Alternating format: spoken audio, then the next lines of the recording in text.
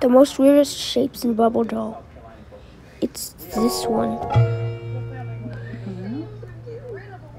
It's this one. It's literally movable. You can literally touch it. I can literally touch it with my thumb right now. I'm literally touching it with my thumb. And I can even do it with my pinky. Still active. Jazz, it's the most confusing thing ever. But still playable. Still movable, but non-existent. That's the most weirdest shape in Bubl Draw ever. And we also got some more.